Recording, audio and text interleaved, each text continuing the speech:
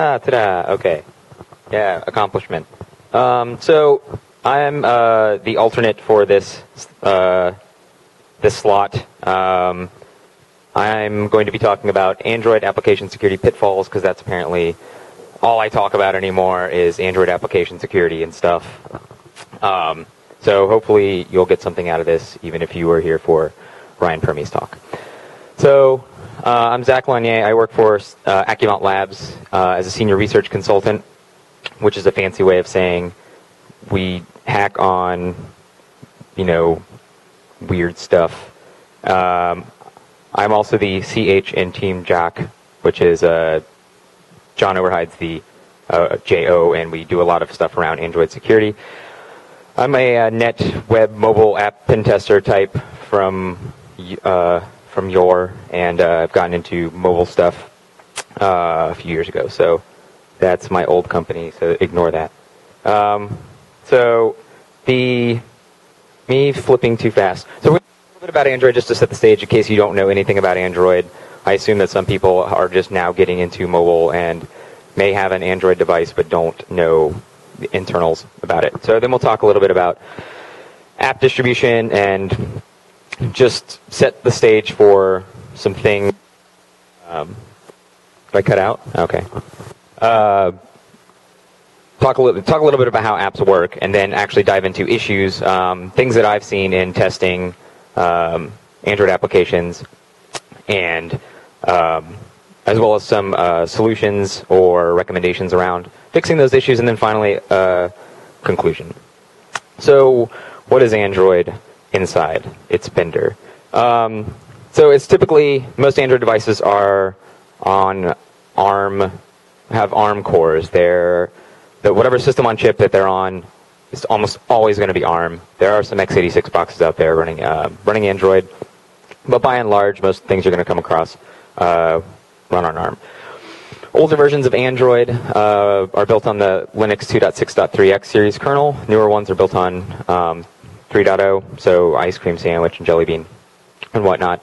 Um, it's built on a series of native libraries. Uh, your libc, which in, in, this case is actually Bionic, which presents some differences in things that are included because it's BSD um, libc, not uh, glibc.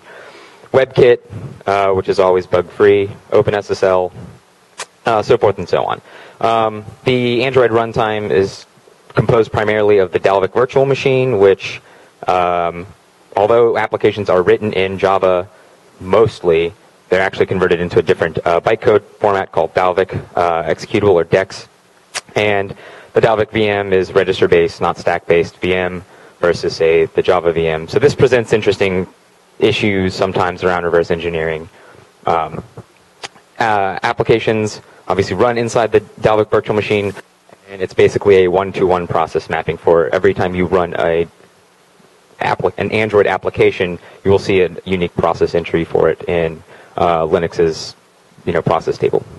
So this is the obligatory Android stack, um, going down to uh, special kernel drivers. Um, that uh, Android wrote, or that Google and the Android team wrote.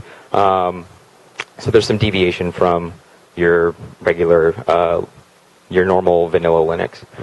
So quick overview of that. Um, big thing that people complain about uh, with Android is this uh, version fragmentation. As of April 2nd, this is the most current data.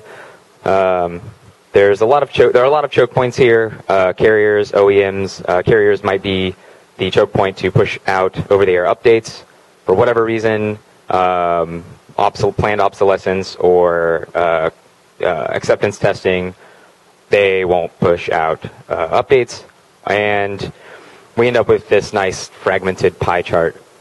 Um, this is a there is a thing called CTS compatibility test suite that Android subjects OEMs to, and part of that includes security tests, so that in order for a device to be licensed, quote unquote licensed, there's no licensing fee, to be licensed to use Android, they have to meet the CTS tests. And some of those have making sure that file permissions are sane, um, and that, you know, there aren't massively privileged uh, applications, things like that. But you'll see in this chart, um, 2.3, uh, 2.3 to 2.3.2 um, is, well, it's actually 2.3.3 to 2.3.7 is a very significant chunk of this chart, and those are your ginger your gingerbread devices that won't you know necessarily receive kernel patches because they're not getting updated versions of Android, which means that combined with complete lack of mitigations, uh, chance for you know nice privilege escalations. Anyway.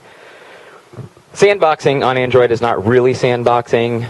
Um, it's not like iOS where there are there's an actual uh, you know like seatbelt on iOS um, actually enforces a more mandatory access control type sandbox, where on Android it's uh, simply assigning an application and the processes associated with it a unique user ID and group ID, and then assigning really tighter file permissions so that um, apps can't clobber each other's data on the file system. And um, interaction between these things and uh, API and programmatic access are enforced by the Android runtime based on you know UID and GID and some other things. So you'll see here up at the top each um, cool. Uh, you'll see here in the data data directory where apps store their data. Each one of these packages data directories have a unique user ID and group ID assigned to them, and the permissions are such that only this user ID can write this, and only this um, group ID can uh, is the only other thing that can read this. So that prevents App3 from clobbering App7's stuff. Um, and we can see files that are created in those uh, subdirectories, like the databases directory for this crypt SQL package uh, has um, access such that only App44 can read and write. So a slight deviation about exploit mitigations in um, in Android. It uh, older exploit mitigations were pretty much non-existent. We actually did have, um, you know, your chance for vanilla stack-based buffer overflows. The stack um, between these two runs is, is um, was randomized, but is still writable and executable. And uh, the uh, mmap section where files are mapped into memory and things like libraries as well, and the heap and the base address of the uh, target executable, the target binary were not randomized, so you know your ret to libc attacks still worked. Um, in Android 2.3, they introduced uh, an actual non-executable stack and a non-executable heap. So that's one step further, except that uh, they still didn't do uh, randomization of some other things. In Ice Cream Sandwich, they added partial or better, slightly better ASLR, address space layout randomization. So here is between these two um, these two runs of just looking at memory maps for uh, a, a, given process. The um, mmap section, where say this these libraries are mapped, is you know random between two runs. Uh, the linker, however, is not, and the stack um, is also random. And the base address of the binary is not. So then finally, they did full ASLR um, along with other things to help randomize, uh, further randomize um, memory with things like position independent uh, executables, strengthening ASLR, uh, doing things like RELRO and bind now to reorder sections in a program to make it even harder to predict um, to reorder reorder sections of a program so that it was more difficult to find um, usable addresses as well as set to read only. Cutting out, I think. Set, set table to read only to make to make um, overriding entries in there difficult. So you know, like overriding sprintf to uh, as bind now also uh, by resolving the location of um, functions at runtime rather than at um, when that function was called. So we can also see uh, that where are we? So this is actually in um, on this is a version of Android that runs Linux kernel 3.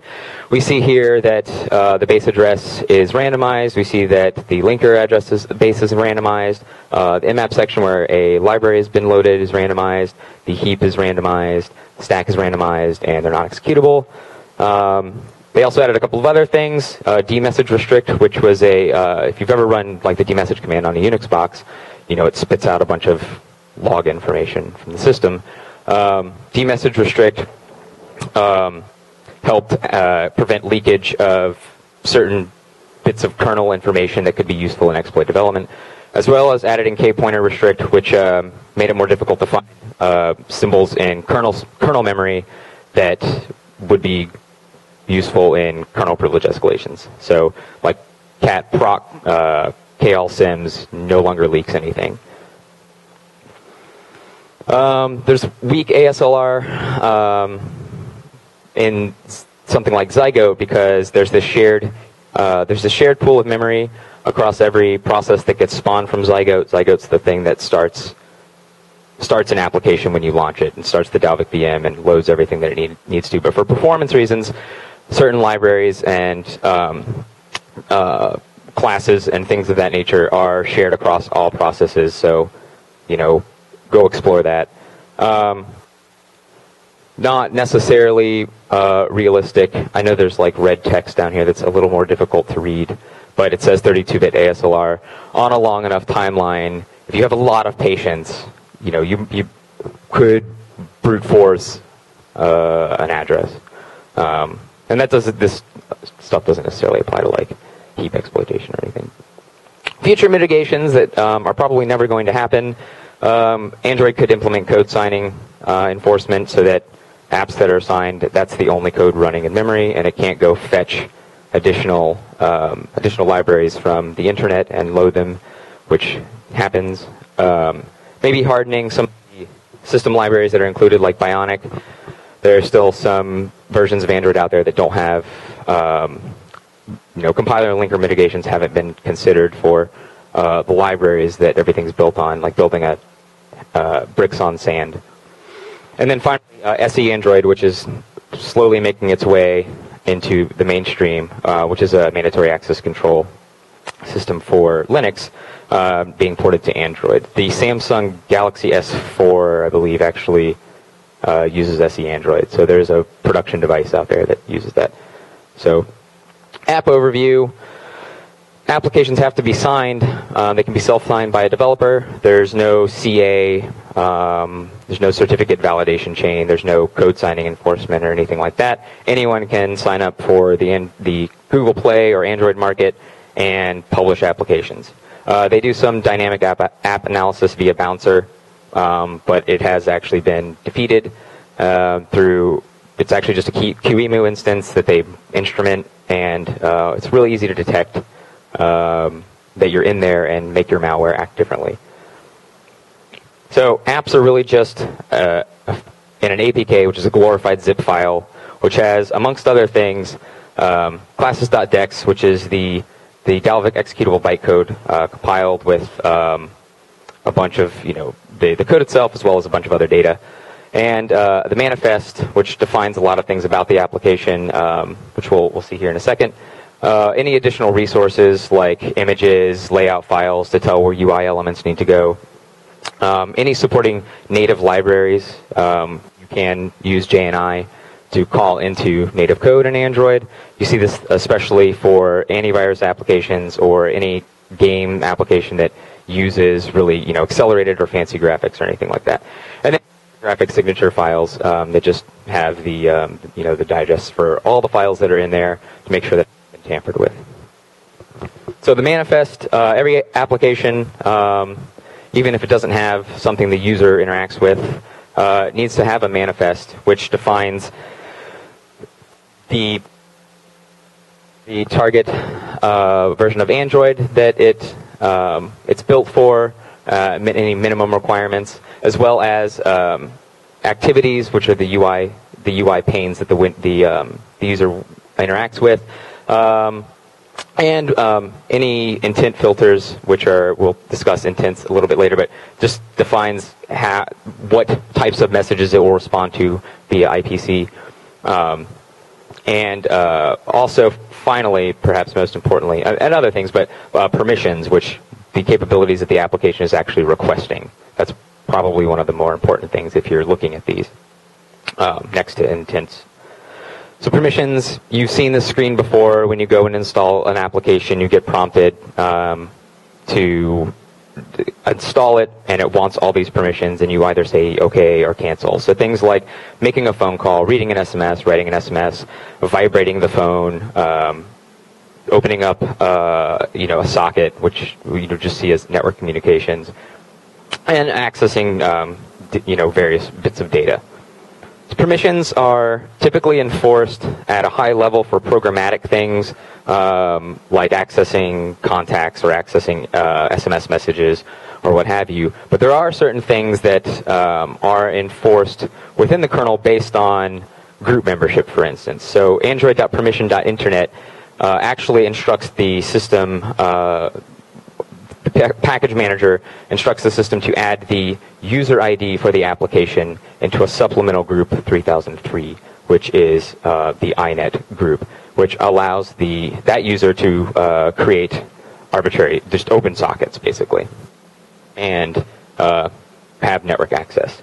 Then there are some other things like um, there are groups for accessing external storage of the SD card uh, because the that particular mount point is set that only the groups, the the group um, members of that group can actually read and write that uh, that mount point. So permissions are not terribly granular in the sense that you could say limit an application to only talking to a certain remote host. It either has doesn't. Um, this uh, this could be solved by SE Android, um, but probably complexity and the uh, you know battery. So again, uh, the Dalvik VM is not really a sandbox. Um, pop out of the Dalvik virtual machine um, with just native code. You're still only limited to whatever privileges that particular UID has, um, but whatever. Um, and again, it doesn't do Android doesn't enforce code signing like iOS, so native code can just be fetched remotely from the internet and loaded. So, the thing you're probably more interested in. Um, common issues, again, kind of things that I've seen um, over the past few years. So, permissions issues, uh, over-granting or under-granting of permissions, uh, insecure transmission of sensitive data, insecure storage, information leakage um, through log uh, through log buffers, uh, API issues, and then, although we won't have time to really dive into Flash or WebKit or whatever. Inheritance of bugs. If the framework that something is built on is buggy, then you know just kick the kick the sand out from under the bricks. So permi- permissions in brief. I mentioned that um, there are permissions like internet, send SMS, read contacts, etc.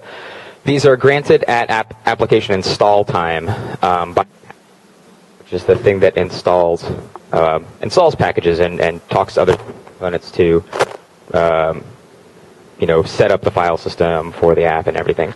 They're actually checked at the time that a call, uh, the time of a function or method call. Uh, that includes things like creating a socket object, accessing um, Bluetooth functionality, uh, reading or writing data to, from, to or from a content provider, uh, which is uh, could be anything on the back end, but just serves data up in a you know re, uh, a normalized way. Sometimes at a lower level, these checks for these permissions are done in, uh, uh, in, in they're done in a variety of ways. Sometimes inconsistently, and in ways that might lead developers to not understand what permissions they they really need. So we already saw that slide. Um, so I did some research with uh, a colleague when, uh, at Veracode last year, where I previously worked, uh, on mapping out Android permissions and their requirements and the ways they were being checked across the Android API uh, and different versions of the Android API.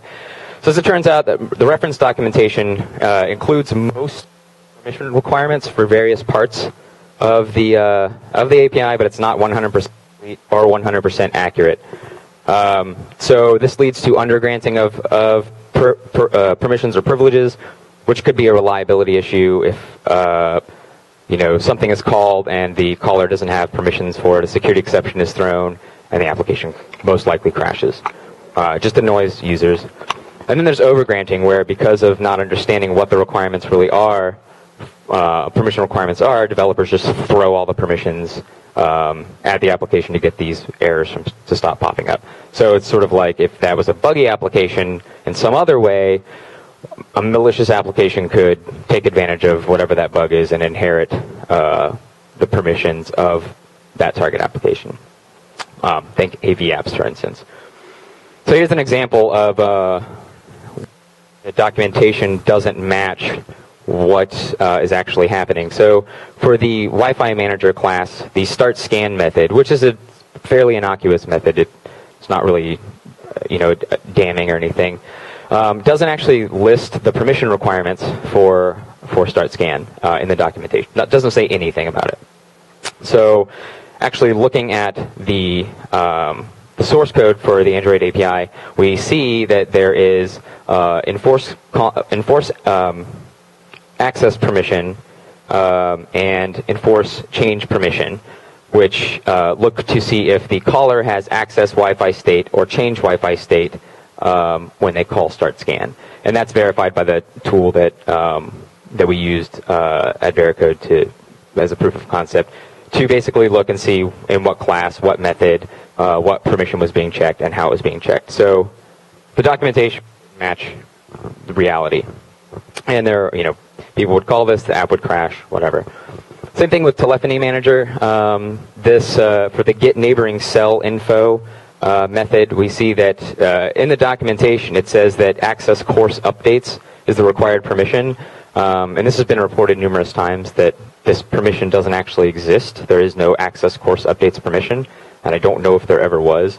Um, as it turns out, they are actually, and they, there's even a comment in the uh, in the source code that says, "Oh, you know, access coarse updates." But looking at where through a few levels um, where this actually gets checked, it's access fine location or access coarse location, and that's checked via enforce calling yourself uh, permission. So, you know, and here's the output from the tool that in fact says get neighboring cell info requires one of these two permissions, not this non-existent permission. So this just leads to developers having absolutely no idea what to do and just throwing throwing all the permissions at the error so it goes away. So insecure transmissions, you know this one, stuff gets sent in the clear. Um, it still happens. Um, you know, again, sorry for the font, but uh, weakly encrypted data in transit, not encrypting it at all, um, or passing authorization material even though the login process was encrypted, uh, ignoring certificate validation errors, um, not you know doing SSL pinning or anything uh, like that correctly, and falling back to plain text if something should fail, or if the use staging environment bit is set to one or something. So a real world example, some researchers found that Google Client Login, which is the SSO uh, system for pretty much all of Google services, um, the authorization header uh, was actually sent over plain text HTTP on Wi-Fi when syncing for certain services like uh, Picasa um, and Calendar and Contacts. So even though Gmail, for instance, was over SSL and everything like that, these services weren't. This was fixed but you know simply snipping this value on, say, a shared Wi-Fi network. Uh, you know, you you know the drill. Super easy. Whatever. Um, I hate this case study, but I, I like it won't go away.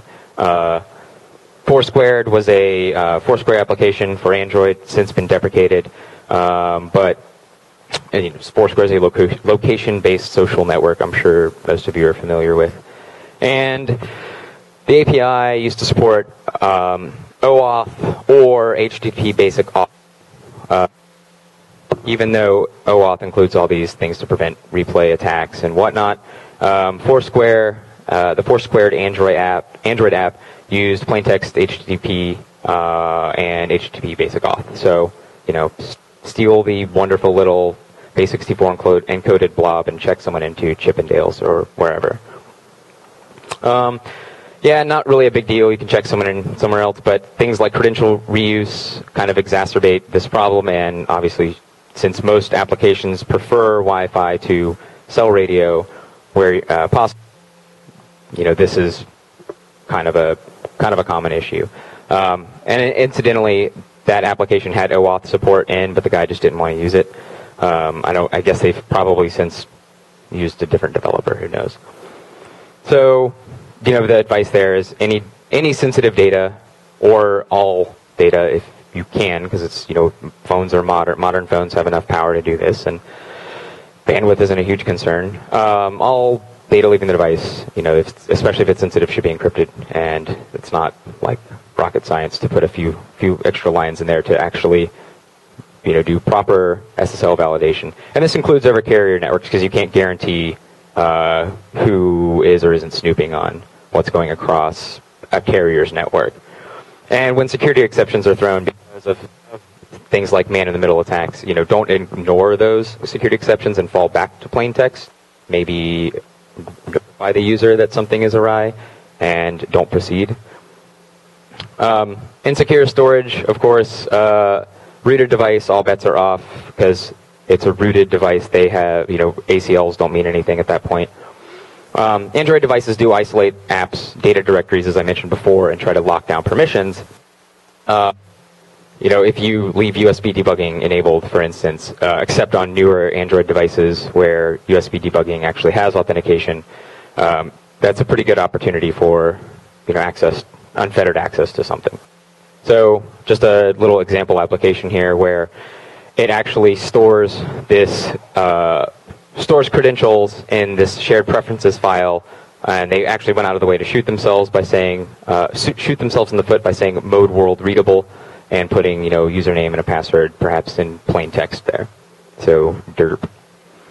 Um, the default mode for files that are created through uh, through Java, so databases, shared preferences, plain text files, any file that's touched through um, through Java uh, will uh, actually be set securely with appropriate permissions. But anything that up until Android 4.1, anything created through native code um, when you called into JNI and then did something or executed an external command, that would inherit Zygote's UMask of nothing, 0000, and subsequently set subsequently set the permissions world readable and world writable. Again, this was fixed in Android 4.1, so Zygote actually has a sane UMask now. This actually bit Skype in the in the butt because they had uh, pretty much everything in their application um, was created through native code, including uh, databases that had uh, had chat logs, had credentials, had personal identifying information about um, about that particular Skype user. Um, so, if as long as you could know what their username was, you could uh, you knew that it was the files directory, and then their username, and then a bunch of a bunch of files that were readable and writable by any other application. So store only what is absolutely required. Obviously, um, you know, never use shared storage areas if you can avoid it, especially on older devices where uh, FAT uh, is the default file system that has no access control enforcement um, on that file system.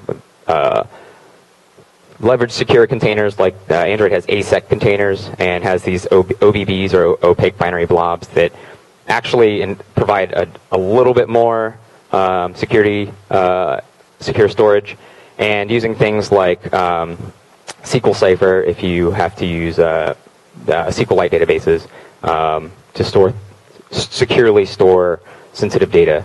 Um, and don't go out of the way to sh- shoot yourself in the foot by making world re- readable or world writable um, permissions on files when you create them. So information leakage through logs, simply running uh, ADB logcat um, on your development machine will often uh, yield a wealth of information. Here's just an example of me clicking on a link in an SMS message and the activity manager, um, which subsequently launches whatever it is that will uh, read or request and read a URL, uh, HTTP URL. Um, you know that that that activity gets logged. So not a big deal that you know some someone can see that I tap on links all day and and look at pictures of cats on the internet. Um, but at least then, you know, simple things like this are, are in fact logged. Um, so it's a trivial example. Um, up until Android 4.1, uh, applications could request the read logs permission, which meant they had access to the, the shared log buffer. And uh, now, third-party apps are no longer allowed to do that, but on older versions of Android, obviously this still applies. So an example where this actually proved to be pretty helpful in an engagement, um, a, a Android app assessment engagement. We wanted to hack the thing that the app talked to but they actually did everything right around SSL cert validation and pinning and made man in the middling the traffic stream a pain in the, the butt. Uh, but they logged to the shared log buffer, to logcat, uh, the whole structure for the post message that we needed to be able to send to their web service to attack it, and it of course turned out to be massively vulnerable. So um, that was a nice little inf- bit of information leakage. And just uh, during a class this past weekend, uh, we were playing around with a production app that we pulled from the market, which actually logged uh, a token. We believe logged a token related to uh, the user authenticating to this person's website right on the log. So any application could read that out and um, you know snarf that and put it somewhere else. So don't log credentials. Don't log anything sensitive to shared log buffers or at all, if possible. Um, especially not in production applications. Uh, if you're doing anything around um, logging, you know there were there were uh, alternative key Android, which would actually log um, what keys were being tapped, and that would go to the shared log buffer. So there you go with your backdoor keystroke logging. Don't log those things. Um, utilize anti anti caching directives on the back end for content that's being uh, served to um, to an application because data does get cached for applications. They actually do have web web content being cached for them in their data directory. Um, debug your applications. It, obviously. Uh, and any third-party libraries that you're using, see what they're logging, see if their like ad networks, for instance, might be exfiltrating sensitive user data to some somewhere else, including like contacts or PII. Um, and test across as many platforms as possible because there might be platform nuances or version nuances you don't understand. Um, we had this storage application that we tested one time. It's multi multi-platform application where you can access your stuff on the web or through the Android application or whatever. And as it turns out, slight usability bug um, when intercepting the response from the server that would tell us things like our current storage quota by changing the current the u- current value that we used and the max value uh, or quota. Um, it would go and divide this to present like a nice little display, and uh, would just lead to uh, divide by zero error, and it, um, they didn't handle that, so the application crashes. Big deal.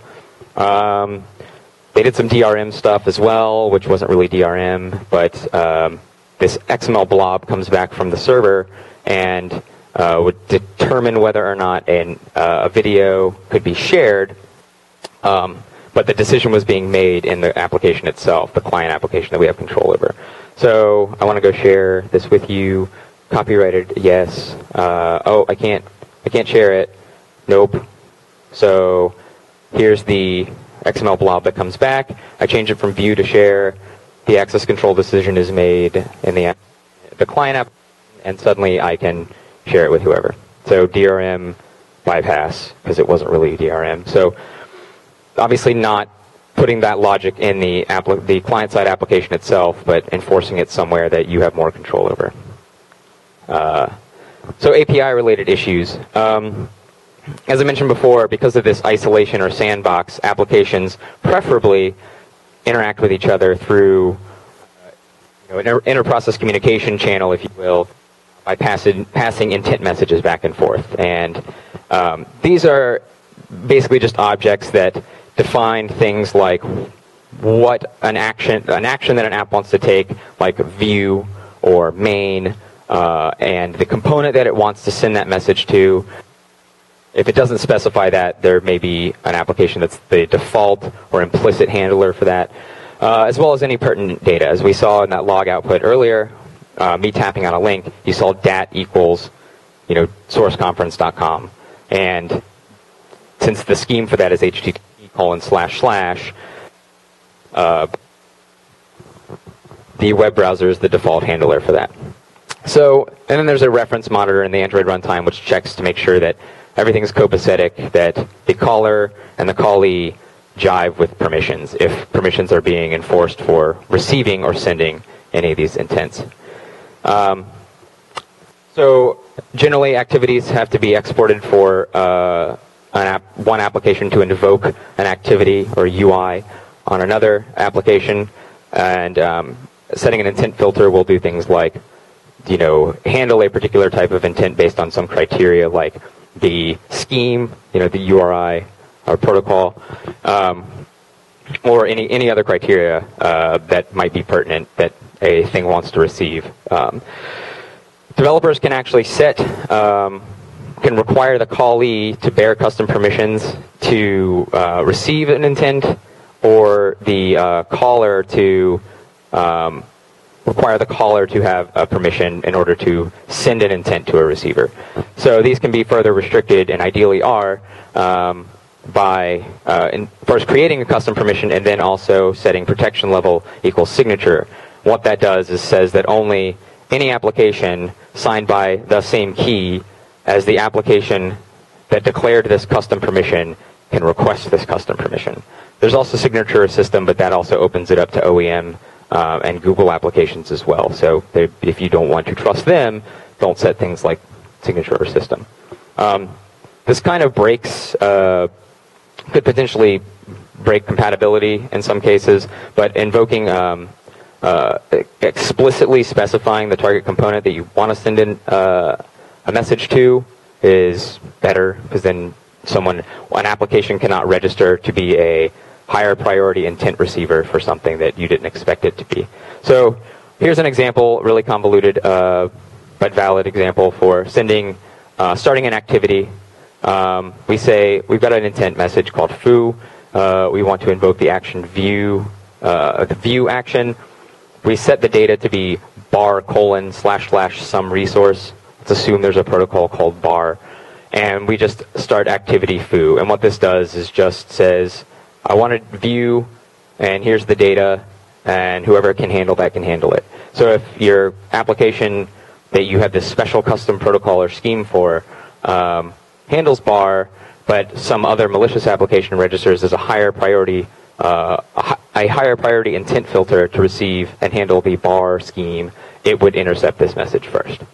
Um, this would explicitly specify the component we want to receive this message. So we say, oh, same thing except set component com.mycompany.myapp.myactivity. And the message is sent explicitly to uh, an application we know and a component, uh, and an activity that we know. So applications can also register broadcast receivers, which are broadcast messages, things like um, SMS received. The tele- telephony manager sends out a broadcast message to anyone who will listen uh, to notify that an SMS has been received. And that's how the messaging app intercepts that and responds to it accordingly, and how custom uh, you know, SMS messaging apps uh, deal with it as well. They just register as a uh, higher priority intent receiver. So the principle of permissions applies here. You can uh, require the receiver to bear a custom permission before it, the message will be delivered and consumed by them, and vice versa. Um, the caller can also, the receiver can also require that the caller bear a permission to even talk to it. Um, use permissions wisely and uh, you know often, um, but generally, if it's if you are not doing that, don't just send highly sensitive data in a broadcast message for that anyone could register a receiver for. Don't forget that intents are actually an input point, and um, sanitizing input and controlling access to messages uh, you receive and messages you send, and who will receive them um, is important, and also handling exceptions is really important. So ISEC Partners, for instance, has this uh, real application called Intent Fuzzer, which just enumerates everything that can receive an intent: activities, service broadcast receivers uh, and instrumentations, and just sends null objects to them to see what happens. So it just null, you know, they call it, it says null fuzzing. So it just sends null objects and everything crashes, including Google's own services uh, on Android. Um, so we see here the clock that was provided to me uh, as a stock application crashes, uh, alert service crashes for a null pointer exception. Um, so like pretty much everything, everything crashes here. Um, third-party applications fall to this, and Google's own applications fall to this because they don't handle null pointer exceptions. So, um, speaking about um, not using IPC mechanisms properly and kind of shooting themselves in the foot, uh, we had a uh, an engagement that we did where we tested uh, a while back, why a while back, uh, this custom app framework. Think of it like a write once, run anywhere across, you know, Windows Mobile, BlackBerry, Android, etc. And it was basically just HTML and JavaScript uh, widgets like games and, and, and stuff. So um, we actually could talk to the, uh, it was composed of two components, a widget installer and a widget runtime. And we wanted to talk to either of them through passing intent messages. Well, the widget installer even wouldn't let us um, send messages to it and invoke the, you know, we couldn't like phish a user to get them to install our malicious widget because we couldn't even invoke that activity because we didn't have uh, the appropriate permission, only the widget um, runtime and some other applications, like system applications, had that. So we actually see it's a little redacted, sorry. But you see protection level, signature, or system for this permission uh, in this permission block in the manifest. We just try to use the activity manager to invoke view. Uh, we pass in some uh, MIME type data and a path to our widget and we tell that the widget install activity to pop up to prompt the user to install our widget, and we get permission denial um, because we don't have whatever that permission is. Well, that sucks. Um, well, as it turns out, they didn't understand things like shared UID, where two applications signed by the same key can share user ID and access the same parts of the file system. So they just made their widgets directory world writable so that the two UIDs for the installer and runtime could read and write um, that directory, which meant anyone else could read, write that directory, which meant our malicious application could overwrite widgets and add in content, which is what it did. So if you look at the the permissions here, you'll see um, read write x, you know, world writable, world readable, and we have a chess widget which was world writable and world readable, and our app that just injected content so that when the user opened it, it just had a JavaScript pop up. Um, so again, they didn't couple the widget runtime um, with the widget management application via IPC. There could have been a programmat. There could have been a programmatic way to do this without, you know, botching it on the file system. And um, they sidestepped the permissions model by doing really bad old Unixy file permissions management. So to conclude, my whirlwind tour of Android uh, application security uh, dumbness. Uh, don't store sensitive data, especially in plain text and without proper access control. Be aware of, of system nuances, things like you know, the Zygote uh, UMask uh, inheritance issue uh, for native code, um, and any you know memory issues if you have native code and you're deploying on like Android 1.5. You know the you probably opened it up to more vanilla, you know, exploit issues, you know, vanilla uh, buffer overflow vulnerabilities, maybe. Um, but just know that you know there are basically no exploit mitigations there. Um, think about uh, what permissions an application really needs. Um, you know, don't request more than necessary. Of, you know, unless you're a mobile AV application, then you have to apparently. Uh, and any security facilities provided by the platform like ASEC uh, or secure containers or crypto libraries or pretty much anything, um, be aware of them and use them. Don't necessarily roll your own uh, unless you're really good at it. Um, and everyone's always really good at it. Um, and just remember that anything you build on it may have its own issues. Um, Flash, WebKit, OpenSSL, Bionic, libc, so forth and so on. So there's also the OWASP Mobile Security Project, which is attempting to bring together resources around um, mobile application security uh, in particular, but also just mobile security in general. Um, so you know you can go there and get involved and get spammed on the mailing list by some guy who posts a bunch of off-topic things. It's not me. Um, any questions? I have about five minutes. There's my contact information and stuff. All right, I'll take that as a no. Well, thanks for putting up with uh, the alternate presentation for this slot. Uh, you know, thanks for coming out to Source. And uh, if you have any questions, feel free to uh, come up here and talk to me for the next few minutes, or you know, out in the hallway in the hallway track. Thanks.